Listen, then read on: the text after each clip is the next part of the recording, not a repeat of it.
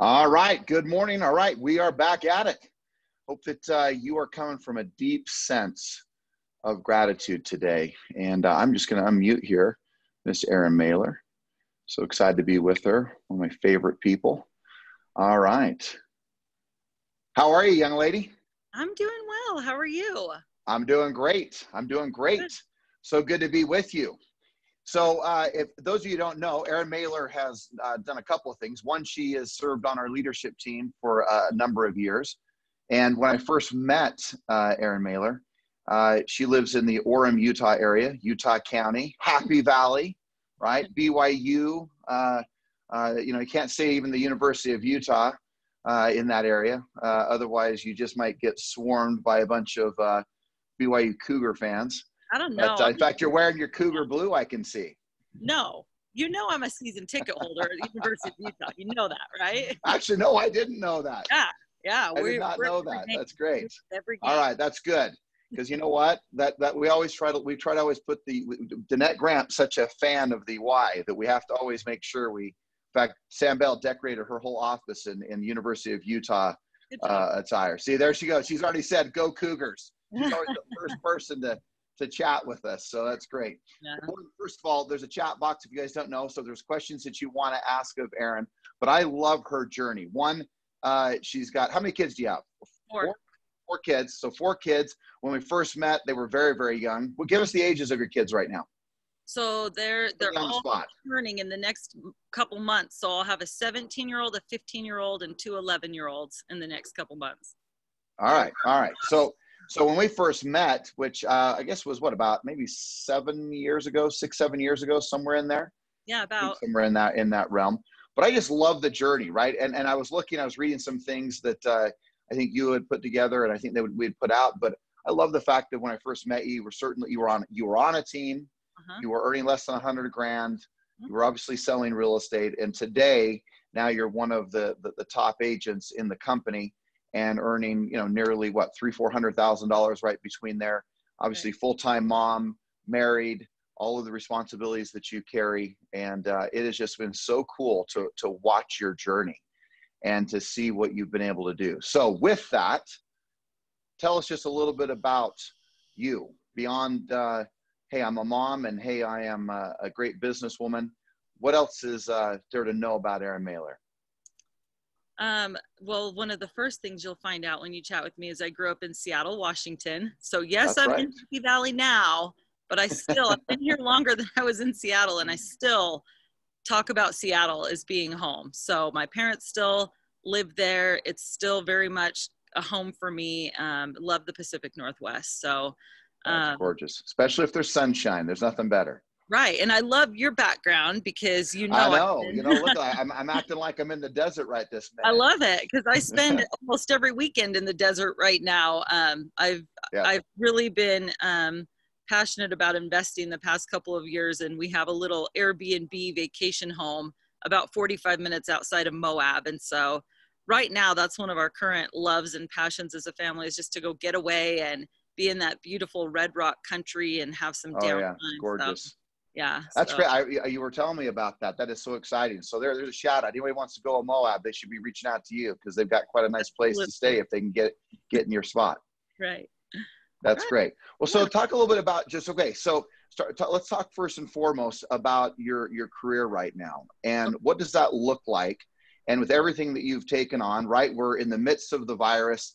You know who knows? There you know who, who really knows if there's going to be truly some openings and a little bit of uh, space that where we can, you know, even just uh, go to a, a restaurant, go to get a haircut. I mean, a lot of people keep asking me, is Utah or California much difference? And I, the main difference that I've seen ultimately has been just the movement of the government, right? The one minute right. that California is open as an essential business, the next minute the county uh, the county officials change it and say no, no, it's not. Then they turn it back on, and so some really deep highs and lows. Right. I think the fortunate thing is Utah specifically hasn't had that high and low, but right, all schools are canceled in both states. Uh, you know, restaurants aren't open, gyms aren't open, so many different things, and just that feeling of of fear. Right, there's people who have still yet to even come out of their home, and that they are incredibly, incredibly nervous. And then there's people who are like, you know what? I don't care. I'm just going for it and I'm going to go do it. And, and then all of that in between from angry to denial to bargaining, pointing fingers, angry at the government, angry at the state level, angry at the national level, federal level. I mean, it's a really interesting time. So, talk about how you're running your business today. What does that look like for you? Well, you know, it's interesting because I feel like coming into 2020, like the word of 2020 was intention. You would see intention everywhere. Everyone was talking about this like it was just the trending word in 2020. Like everything was beautiful and hunky dory. Life was amazing. We'd had 10 years of growth in the economy and people are right. doing well financially. And it's like, oh, I'm just going to have this intention, which is I'm not trying to downplay that at all. I think it's a beautiful thing to have intention, right? But I feel like very quickly we've we've kind of switched and the word that comes to my mind constantly right now is adaptation. How have you been willing right. to adapt? What have you done to adapt? Because so my birthday is March 13th. So all of this that went down is like really time stamped for me because I think in terms of March 13th, it was a Friday the 13th, which it's like the fourth or fifth Friday the 13th birthday I've had. And that was the first day that my kids didn't go to school. Right. So, um, it's all kind of time stamped in that week that that second week of march. Life changed drastically for everyone you know and and for about three weeks i i finished up things that i had going on but i didn't really have any new business for those first three weeks. And um while it was a it's it was really scary and really tragic and a lot of things that um, were happening in the world were certainly serious and um, and and awful for a lot of people. For me those three weeks were some of the most beautiful time that i've had with my family. I found myself in a deep place of gratitude for this like gift that i had been given and that's not to downplay the seriousness of what was going on in the world and to make light of it. But um, you know george for year probably since the day you met me i've been talking about balance. I just want balance. I want to be able to balance this all and how do i do that? And I, I, there would be periods where I'm like, no, I think I'm balancing really well. And then a month later, I'm like, well, right. all went to pot. I've realized I can do, I have four things on my plate and I can do about two really well at the same time. And the other two suffer. So, um, so for so, me, so how do you, how do you handle then that, then how do you handle, I was just, I took a half, Uh, it's crazy. I just wrote a half, nearly a half a page of notes of just what you were saying. So thank you for what you're saying because I have a saying in regards to balance, and I think this is an important statement here. A lot of people will say that. I know you and I have had many conversations regarding balance, and what I would say about balance to anyone is this, and that is is that it is almost next to impossible to have any level of balance until you become, you know, just this, write this one down, until you become highly efficient in certain areas of your life. Right. And and the three components, right? If you're having major chaos in the home front, it's going to be very difficult to find balance because there's so much inefficiency. Uh, if there's major imbalance in regards to our health, it's almost impossible to get that into into balance. And then also, it's hard to get into balance, of course, if the business is all over the place, if it's not happening, if it's taking too much of your time, if it's not if you're not efficient with your systems your team your individuals around you the way you transact the deal the way you set appointments. If there's not high levels of efficiency in those three corridors economic relationship and our health it is almost next to impossible to be balanced. So right. sometimes people claim they want the balance right? But then the challenge is is are they being efficient in the areas so that they truly can be? So that it's not all hands on deck when it comes to just their business or all hands on deck because there is a major crisis in their health. Right. So for you, how, how do you how do how have you created that? I mean, you've gone in the last two years, and one of the shout outs I, I know that you would make is that you one you you got a coach. Mm-hmm. And one of the things I love is that you're one of the first people to sign up with our Everest Sales System coaching. I know Judy Forden is your coach, and there's been like this huge growth as right. you've worked with with Judy on the coaching side of it. Speak to coaching for just a minute and and why that's so important to you. Um, you know, I, it's funny. I just someone called me yesterday to ask me these same questions. Um, he's looking into coaching, and so it's hard for me to express and quantify what the coaching does for me, but I'm going to try. Um, there were some definite pain points in my business. There's there's always pain points. Once you figure out one thing, there's another thing you've got to figure out, right? Right.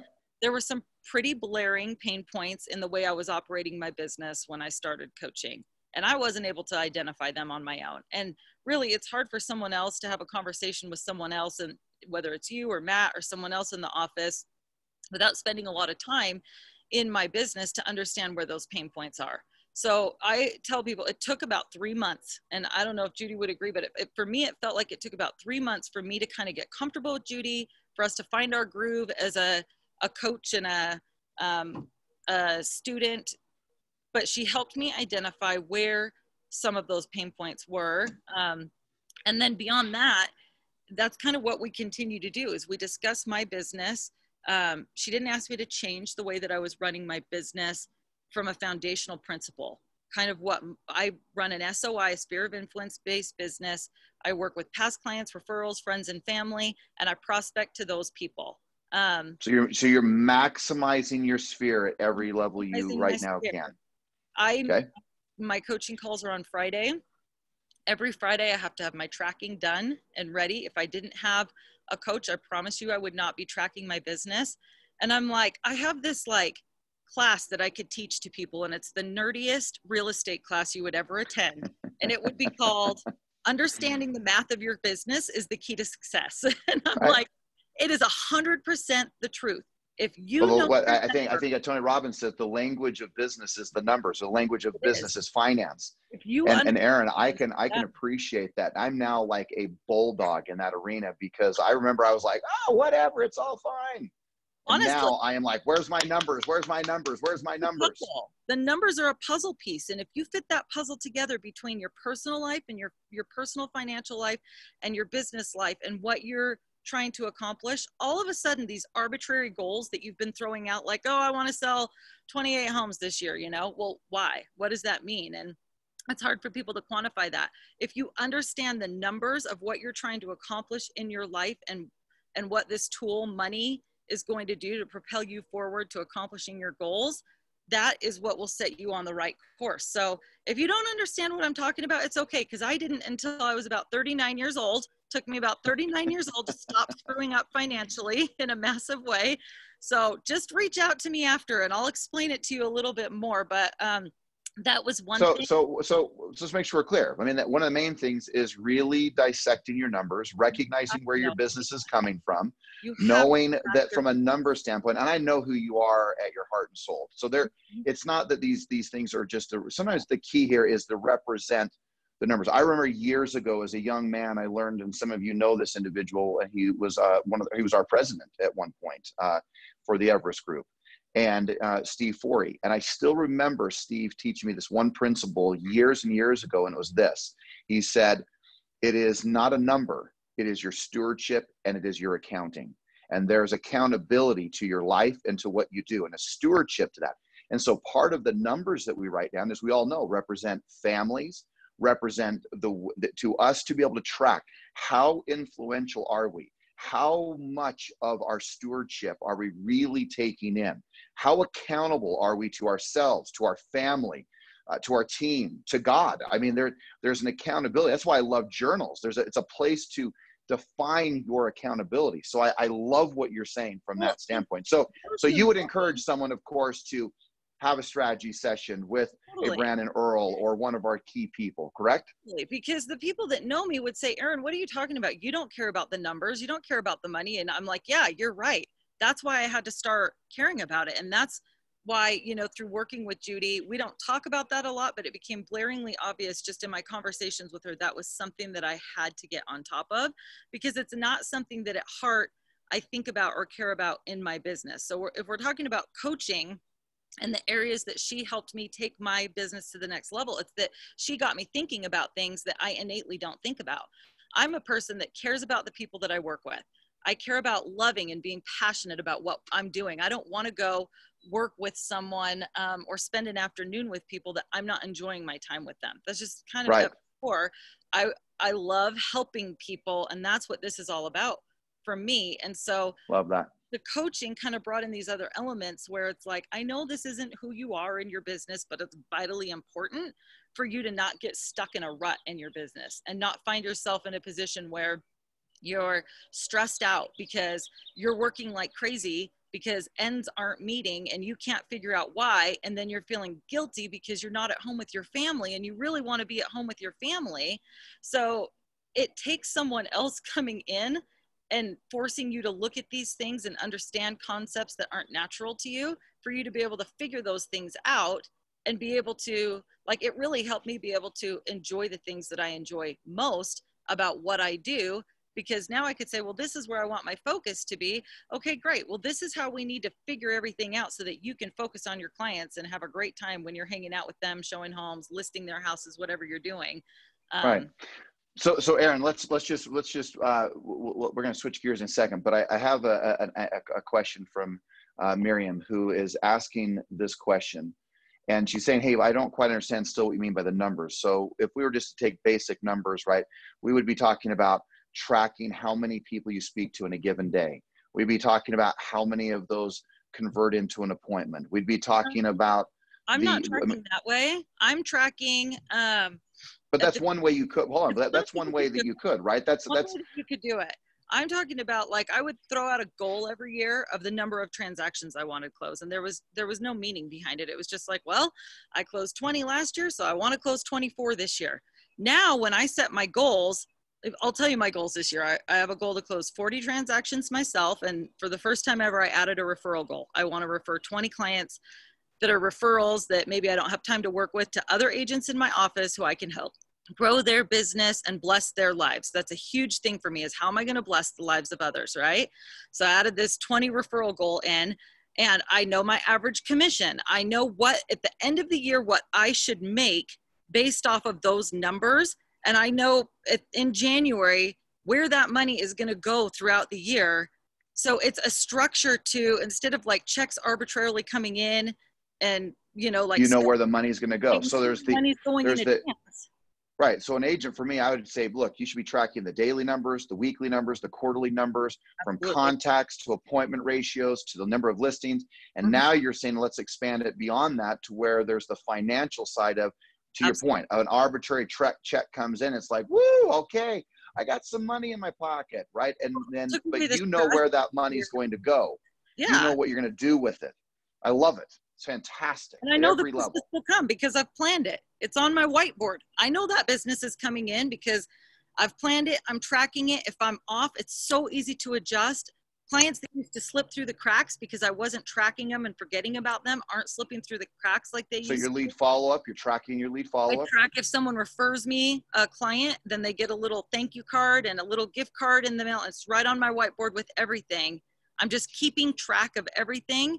And it's the first time once I started doing that, I stopped worrying about where the next piece of business was going to come from because right. it was right in front of me and I was like, this is what I am going to do this year, and this is the why. And I don't know how it just it continues to happen because I do my job every day and I track every day, and I know if I'm off track, I immediately adjust to get back on track.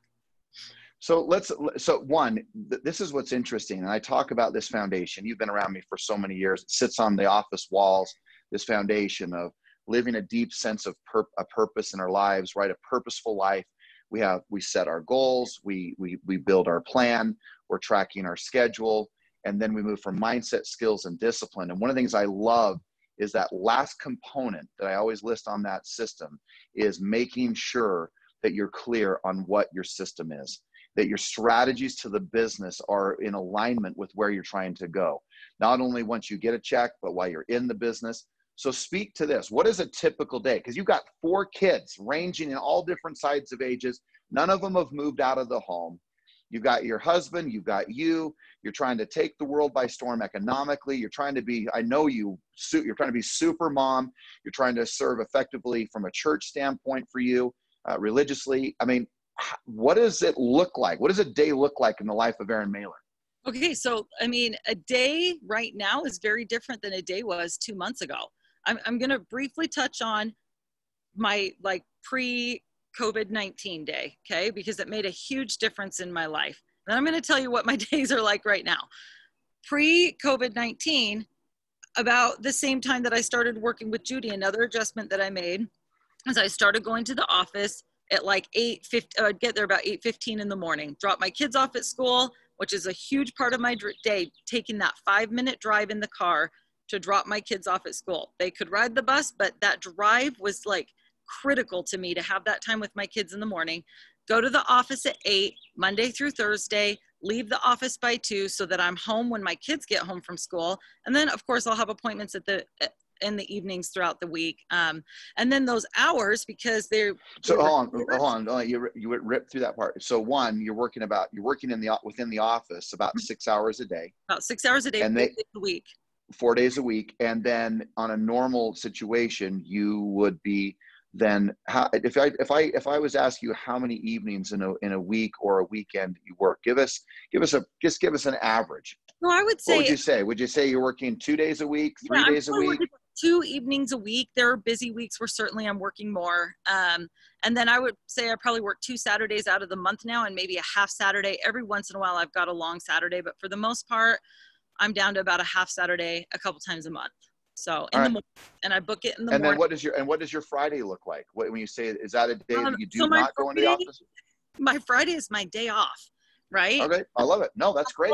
I always great. end up doing work on my day off. It's not like I just stop answering the phone or emails, but I'm at home because, of course, I'm mom too, and I've got like groceries to um, to worry about and just needs at home that I've right. got to take I get, care of. Yes. You know, I take an art class. I've taken this art class for three years. That was Friday mornings for two and a half hours, an oil painting class. And I'm always like, it's the one thing I do for myself, and it's my sacred hours. You know, something for I me on Friday. Um, and so, of course, I always joke that I'm like, oh, it's my day off, but I'm going to meet with a client, you know. So I just don't go so to the what, office. What, what is your now? What now? What is your schedule? What does it look like? How are okay. you hand? How are you handling the COVID nineteen virus time? And and we we have to make sure we hear how you're impacting. And there's people who want to see your dry erase board, how you're working your day. But okay. I don't know if we'll get to all that. that. I don't know if we'll be able to show that. But you look like you're in your beautiful backyard in your beautiful home. But will, but but um, just hold on, but just just share share what is your what does it look like today, and then I really want to make sure that how are you how are you how are you channeling the right mindset? How and and what advice would you give to those people that are really still struggling? So what does your schedule look like today, and how are you working your mindset and protecting it, elevating it today? George, you're not going to like my answer because my schedule today is crap. And I'm just going to be real with you. I know a lot of you. I, I, that's what I want. You ask me, I, like, people always ask me in these interviews, what am I supposed to prepare for? Nothing. I want the raw Erin Mehler. So I love it. That's guys, great. This is like maybe the second time since March 13th that I've been ready at 8:30 in the morning. Okay, like I had a reason to get ready this morning.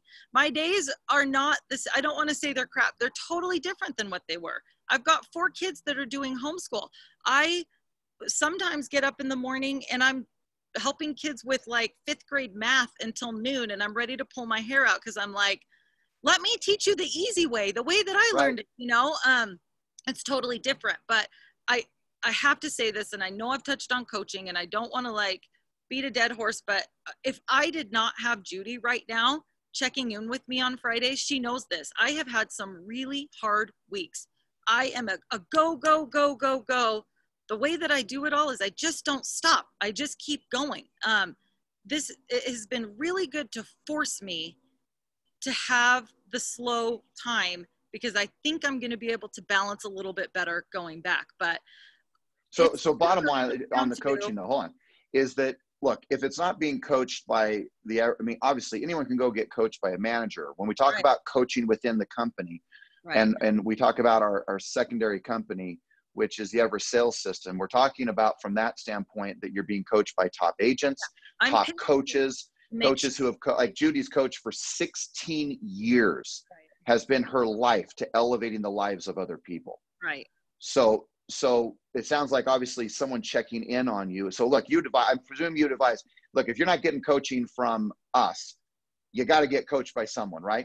An accountability. Bottom line is you got to get coached. Obviously, like I think there is an element to paying someone to coach you because there's an accountability there that isn't. I, I mean, I've been a manager. I've managed agents in my office, and um, it's different with when they're not paying for it and when you're not totally it, different it's a different situation right i have had fridays where i've talked to her and it's like how'd you do this week well i didn't do so hot you know i'm i'm really struggling okay well let's totally refine.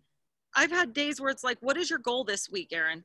And we've decided it's to call one person a day. Like that is the schedule I've been on at times lately is call one person from your SOI a day. But I'll tell you what I have been doing that's been great and I've been really good at this is there are so many systems that we use in our business that when you get busy get left by the wayside. If you have not been creating an SOI list or cleaning out your SOI list and going through your contacts and purging those systems from your laptop on the couch while you're watching Netflix. Like, my heavens, right. use this time to clean your business up. There is no better, there's never been a better time to get organization and wipe out the chaos in all of those systems that we use to stay in touch with people. And I've been really good. I mean, I've gotten so much done in that regard, just going through and cleaning house in, in that way. Um, talk I, about your business right now. In the last 45 days, what have you achieved from a business standpoint?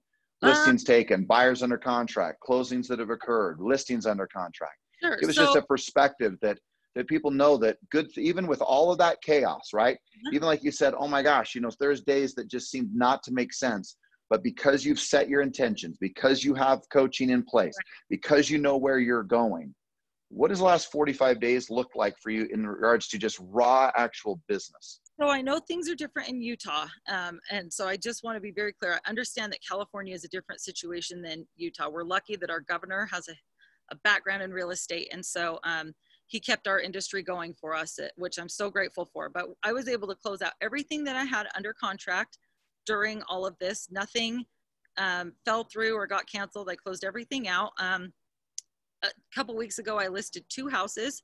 They both had multiple offers and went under contract within the first week. I have a buyer that went under contract last week. I have buyers that I'm actively working with. I have three listings that are coming up.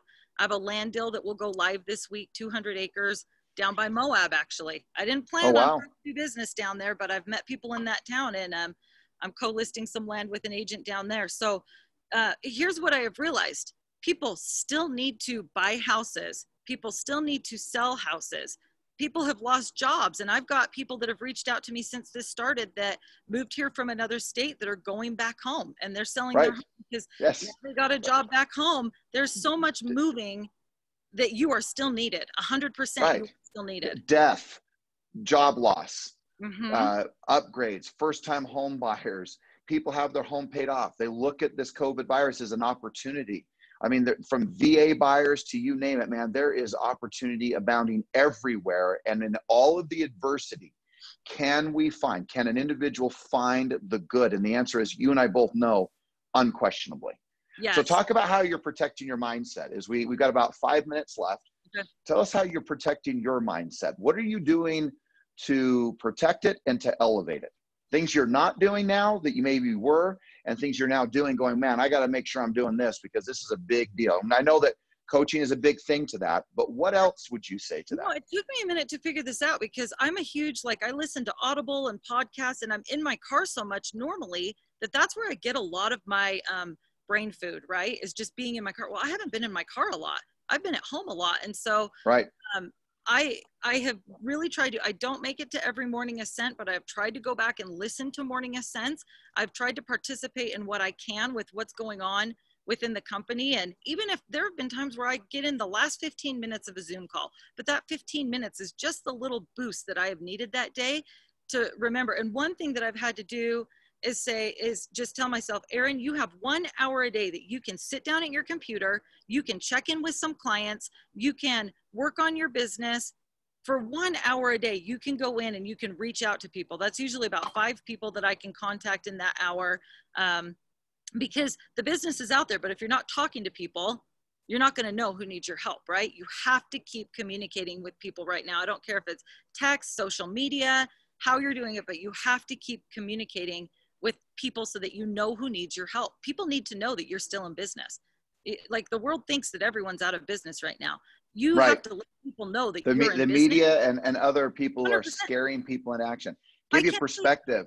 We've put, as of yesterday, 462 homes in mm-hmm. Utah since since in Utah since April 1st. So here it is, the 30th. Right. 462 homes as of yesterday. We as an organization in Utah put under contract.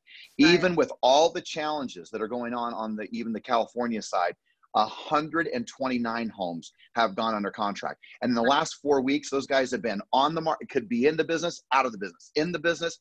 And you look at the yo yo, it is unbelievable. Combined, that is over nearly 600 homes. This group has put under contract because they've stepped forward and not living in their fear. And a lot of people are, how about this? A lot of people are saying how foolish it is that people would go out but the fact is, is domestic violence is at all-time highs, suicide at all-time highs, absolute destruction mentally, emotionally. Guys, we have got to pull ourselves out, all of us, to recognize that life at some level goes on. Yes, be wise. Yes, use some of the social distancing measures that are necessary. But man, you cannot live in fear. You have got to step forward with gratitude in your heart. And as you're speaking, right, go serve people, call them, text them, video them, do something that shows your commitment to leading others and to your point, making a difference. Making a difference. Whatever you believe is is what will be true for you. Whatever it is that you believe, it's 100% true for you. You I there are lots of people that believe something totally different than me right now and it is so true for them and it is weighing so heavily on them the fear the uncertainty um, you know just this this these things that they're telling themselves well i believe something right. totally different and what that, I and that's what talks about we talk about mastering the story right, right? Mastering the story masters your emotions and masters the actions you take. And so few people are like, like I have people like, well, I don't like doing those affirmations in the beginning of the call. Well, you need to shorten them down. You, I'm like, ladies and gentlemen, every counseling session that one may have in their life, everything they, every conference we may attend, every coaching call we may go with, every friend that we sit down and talk to is about one, oh, I got two fingers up, one thing, master the story. And it's about changing a better story. To your point, you said, if I just watch it for 15 minutes, I kind of get juiced. I kind of, because you change the story you're telling yourself to empower us I just have to tell a quick story, and I know we have to end. Please. Yep. I, it yeah, used to really bother me. I, I care what people think about me. I want to be an authentic, real person whose purpose is to serve and help other people and do anything for anyone. And I care when someone has a negative opinion of me or thinks that my motive was something other than it was. It hurts right. me. And I used to really struggle when if I would ever hear that, like, it, and it was usually like a family member or friend, right? Those are the people that hurt us the most. But right, the people that you care that you care yeah, about their opinion. That they know me well enough to know my flaws. When they would point out my flaws, it would hurt. So it used to really bother me when I would find out someone had said something about me, or you know, here's something negative or some kind of feedback. And there was a particular situation where just there it was toxic. This happened a lot in this household, and I finally several years ago I had to start telling myself this is a reflection of them not of me what they say is a reflection of them not of me you guys it took me like two years of repeating this mantra over and over and over again until i finally one day like they could say anything about me and i i felt compassion and love for them it took two yeah, years. You feel, you feel sorry for that person. I felt sorry. And I'm like, man, they just live in an awful place. So if you're struggling, if you're stuck somewhere and you're like, I don't know how to change my story, you guys make it sound so easy. I don't know how to change my story. My story story is so real to me. What I, what I believe is so real to me. I don't know how to get out of it. It may not happen overnight, but you've got to figure out where the space you want to live in and what story you want to tell yourself. And you have got to start telling yourself that. Write it on a piece of paper, put it on your mirror, put it in your car, wherever. Repeat it to yourself over and over and over and over again. And I promise you, one day you will wake up and it will click and you'll be like, oh my gosh, I, I this is true to me now. I don't know. It's my truth. I know it. I don't just believe it. I know it. And so don't give up. Just keep pushing through until you get there, um, and you will. That's awesome, Erin. Erin, you're one of my favorite people on earth, and uh, I wish we. I know many of us times we all hit Vegas and we'd all hit the uh, the strip and have our strip burger, the strip burger, right?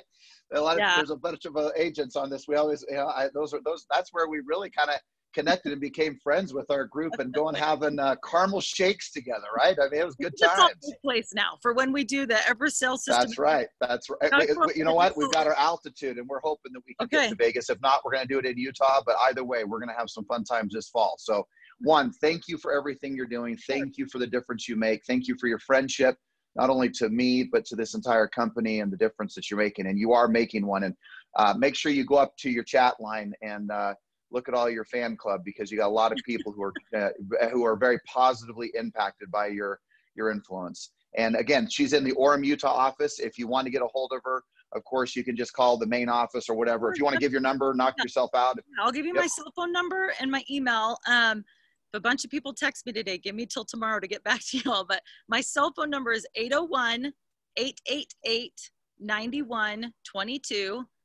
And my email is just Erin Mehler at Gmail. And it's up on the screen. You can see where my name is. That's how you spell it Erin Mehler at Gmail. So hit me up. I would love to answer any questions and I'll figure out a way. Maybe I'll just have Danette or someone email out. It's like the most simple. So I'll give you some some instructions with it, but how I track my business because it changed love it. for me. I so. love it. I love it, Erin. So so happy for you and so happy to see your Thank success. You. And I know you're just getting started as you've been assembling properties and building wealth and providing uh, such great experiences for your clients. So thank you for making a difference to this company today. So have a great day. Hopefully, uh, hopefully uh, you're you uh, are going to do something fun for your Friday, which is your day off. So go do something. Friday? not not today. Tomorrow. Tomorrow. Oh, okay. It's work hard today. today. Go out and kick butt and take names. All right. All, all right, right, guys. Let's do some affirmations, and then again, make sure you look at your chat because there's some fun things and some very kind things of people saying thank you for making a difference today. Okay.